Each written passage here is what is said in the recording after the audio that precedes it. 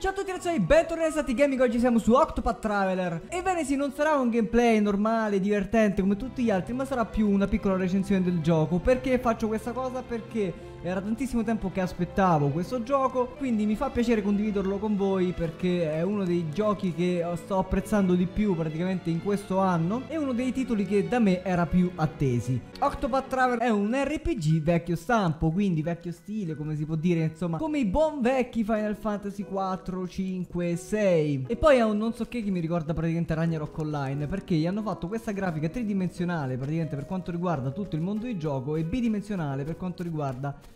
i nostri piccoli personaggi. Gli effetti delle battaglie sono una figata, poi dopo ve le farò, ve le farò vedere. E le, e le, battaglie sono rigorosamente a turni. Una cosa che mi piace tantissimo del gioco è il fatto che andremo ad impersonare 8 personaggi diversi, che eccoli qua, vedete qui praticamente ogni personaggio ha la sua classe, le sue abilità, a partire dal mago, al sacerdote, ladro, guerriero, arciere, cose varie. E ogni personaggio ha una caratteristica eh, unica per affrontare la storia. Logicamente si partirà con uno dei personaggi, ma poi la storia comunque vi permetterà di intrecciare con tutte, con tutte le altre storie dei personaggi perché ogni personaggio ha il primo capitolo praticamente che è a sé quindi il primo capitolo della storia è singolo di ogni personaggio ma poi eh, si attaccherà praticamente alla storia principale del gioco. Io ho cominciato nelle terre boschive con l'arciere che ha una meccanica fighissima che poi più tardi vi farò vedere e adesso sono praticamente arrivato nella terra vicina, nelle terre glaciali, per prendere Ophilia, che è praticamente eh, una sorta... Non ho ancora capito che cos'è perché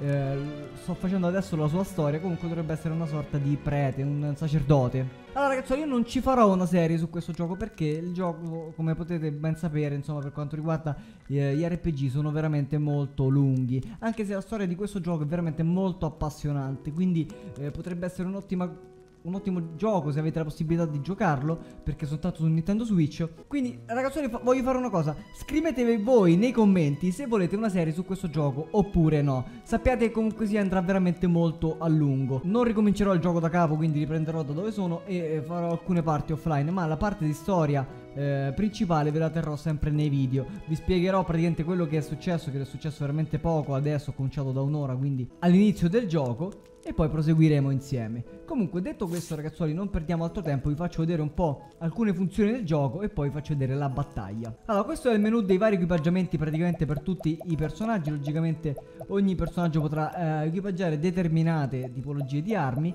e determinate tipologie di armature e accessori. Le abilità dei personaggi possono essere utilizzate sia in battaglia che fuori, come per esempio quello di Ophilia, cura ferite. Nel caso in cui eh, si rimanga feriti, il personaggio non torna a piena salute ma rimane ferito, quindi lo dovrete curare poi fuori dalla battaglia. Come per esempio i Pokémon, quando fate le battaglie Pokémon, dovete curarli praticamente eh, fuori dalla battaglia o all'interno della battaglia logicamente. Ogni personaggio ha un albero delle abilità che potete apprendere e pian piano che ne apprenderete altre vi si sbloccheranno altre di supporto. Io sto andando praticamente a fare la quest principale però vi voglio far vedere un pochino come sono gli ambienti di gioco. Pare che qui non si possa proseguire vabbè giustamente. Ah è totalmente tradotto in italiano questo è un grande punto a favore per la Square Enix che ogni tanto ci pensa anche noi piccoli italiani. Guardate cioè il mondo di gioco è troppo bello ragazzoli guardate quanto è fatto bene. Non si può non amare raga. To do, Ophelia? Father... Allora, non continuo perché a farvi vedere che cosa sta succedendo, l'ho fatto, vi fatto vedere soltanto questo pezzettino per farvi vedere che il gioco è totalmente doppiato in inglese e mi piace un sacco anche l'effetto che hanno utilizzato per far scappare fuori praticamente le scritte in italiano, quindi eh, i sottotitoli. Le musiche del gioco, quindi la soundtrack è veramente bellissima, in alcuni tratti adrenalinica, in alcuni tratti praticamente mette una tristezza assoluta come in questo momento. Però non continuo per non farvi spoiler sulla storia per chi per dire se lo volesse giocare, per chi poi vorrà seguire la serie, nel caso in cui ci fosse. Allora, il personaggio che ho al momento, oltre Ophelia che praticamente è dietro accodata, vedete che gli corre dietro praticamente, che è membro del. Sì, è membro del pa... Membro, no, membro del party. è l'arciere, però una ragazza. Ora praticamente che Emmett vi farò vedere praticamente la, la, sua peculiarità. Adesso dovremmo uscire e andare in una grotta. Sicuramente ci saranno dei combattimenti. Vi farò vedere sia i combattimenti che la peculiarità praticamente della, dell'arciere. Allora, guardate, vedete, ogni personaggio ha, come vi dicevo prima, ha la sua abilità unica. In questo caso, se io mi avvicino a questo signore, a questo NPC, praticamente mi, mi fa vedere la, la testa di una bestia e un, un omino con, con, delle ali. Questo perché la peculiarità praticamente eh, dell'arciere è sfidare le persone praticamente con, con, delle bestie che si possono catturare. Cioè, quando sfid- avremo un avversario, una bestia che avremo contro un mostro, l'arciere può catturarlo e poi utilizzarlo praticamente in battaglia al suo fianco. Mentre Ofelia, praticamente come eh, peculiarità del suo personaggio, ha la possibilità di convincere un abitante, un NPC, insomma un umano, a seguirla e poi potrà riutilizzarlo praticamente in battaglia. Prende la stessa cosa delle bestie, solo che Ofelia lo fa con gli umani, in poche parole. Adesso vi faccio vedere, provoca oppure conduci. Conduci. Abitante della città, forza 1, logicamente poi eh, bisognerà vedere ci sono tanti tipi di NPC e ogni NPC ha le sue abilità e la, la sua tipologia di forza, evocabile 9 volte. Conduci questa persona? Conduci sì, possa la fiamma guidare il tuo cammino. Salve sorella, permettimi di accompagnarti. Mi fa piacere, vedete adesso pure lui si accoda. Fra un pezzetto praticamente faremo il trenino di Capodanno. Ok, una volta praticamente fuori dalla città sarà come Pokémon, come, come, Final Fantasy. Ogni, ogni, tot di passi verremo attaccati da determinati mostri che sono nella zona. Logicamente anche le ambientazioni cambiano in base alle zone. Adesso siamo nella zona nevosa. Ecco, per esempio, questo è il primo mostro che ci capita accanto. Allora, ogni, la, le battaglie sono molto fighe perché non solo bisognerebbe attaccare oppure fare magie o cose varie, ma bisognerà anche scegliere la tipologia di arma da utilizzare. Ogni personaggio può utilizzare due o più armi, in questo caso per esempio l'arciere ha l'arco oppure l'accetta. Allora io questo mostro l'ho già affrontato, quindi so che è debole all'accetta. Poi vedete ha anche altre debolezze che io però al momento non ho scoperto ancora. Quindi se io utilizzo praticamente l'accetta, vedete c'è uno scudo lì da una parte vicino a, a, debole praticamente che se io lo attacco praticamente con un'arma o con una, un elemento a cui lui è debole in base al numero di attacchi che io farò praticamente quello scudo scenderà adesso è, è a 1 ma potrebbe essere a 2, 3, a 4, 5, a 9 e scenderà in base agli attacchi una volta che con lo scudo raggiungi lo 0 il mostro per un turno rimarrà stordito ora vi faccio vedere allora per esempio lo attacco col, con l'arco che lui non è debole guardate non succede nulla, gli faccio danno, lui riattacca perché era il suo turno e adesso tocca Ofelia. Allora, Ofelia può attaccare normalmente come ha fatto praticamente l'arciere con un attacco fisico, oppure cura ferite o luce sacra, vediamo luce sacra, vediamo se, se per dire fa qualche effetto luce sacra sul mostro. Ok, lui non è debole alla luce sacra. Vabbè, però comunque sia gli ha fatto danno.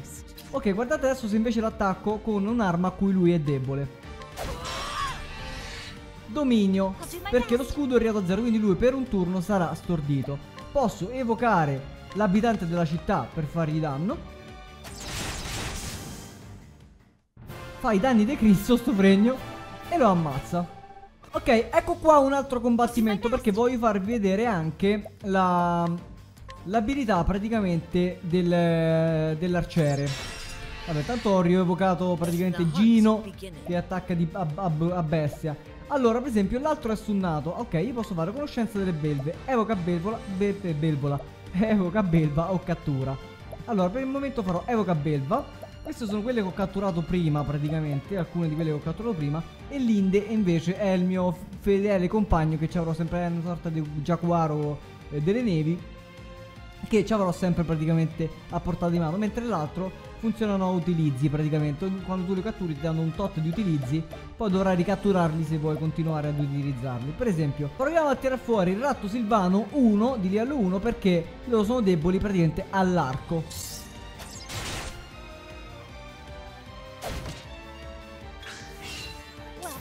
Non è finita qui perché poi io adesso Allora intanto abita accessato la luce sacra se su questo fa qualche cosa Se fossero deboli alla luce sacra uno dei loro due No, nessuno è debole alla luce sacra. Perché?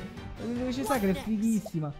Conoscenza delle belve, cattura, 100% probabilità di, di successo. Quindi vuol dire che io adesso praticamente catturerò il mostro. E lui e sarà utilizzabile durante la battaglia. Oh, è debole al bastone, dai. Non è debole alla luce sacra, è debole al bastone del merda. Va a cagare. Logicamente le cose da scoprire poi in giro per il mondo sono veramente, per il mondo di gioco sono veramente tantissime. Questo era soltanto un piccolo assaggio per farvi vedere com'era il gioco, perché come vi ho detto ragazzoli io questo gioco l'ho aspettato tantissimo perché sono un vero appassionato di questa tipologia di giochi, mi piacciono veramente tantissimo.